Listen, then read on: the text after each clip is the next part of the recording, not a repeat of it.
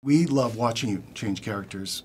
Do you have one that you particularly have more fun playing? Uh, I loved playing Patricia because she's constantly fantasizing sexually, and that's just a nice thing to be doing with your time.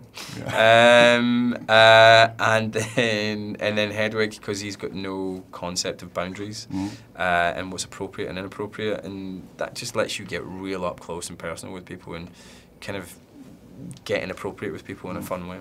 When you were doing Split, and you know Bruce Willis obviously was in a scene in that, so that was kind of a hint. No one really understood what was going on. Did you fully understand what was going on? No, not until maybe halfway through the shoot. Um, there was meant to be a little clue in the script which I completely passed me by.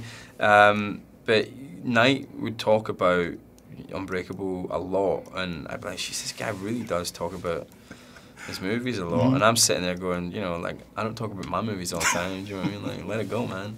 And he, uh, but one day he was like, "Cause you know, we might find ourselves back here with David Dunn and Elijah Price," and I was like.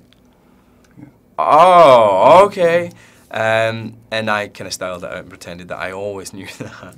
But a couple of weeks later, I was like, dude, I don't think it's that apparent in the script. He was like, no, no, no, I know, I know, I know. I'm going to do something much clearer and overt. And I was like, all right, cool. And he came up with that great scene at the end with Bruce. Did this movie take a lot out of you? Because it looks like it did. Yeah, it I did. mean, we watch it and it looks like a. a I mean, I I don't know why, but when I watch, I was looking for cuts and stuff between your characters. There's lots of times you do it on a dime. Well, that's the fun part of it is that we try and do as much in real time and without the cuts. There are cuts sometimes, Sure. but um, but generally we try to stay and let the audience see that uh, moment of change. The most interesting point in a character's life, I think, is when things are changing, when they're becoming, uh, going from a happy person to a sad person, or going from like a content person to a vengeful person. Like seeing that change, that click, is the most interesting thing. So seeing somebody literally change from one person to another is is the is we we don't want to miss that.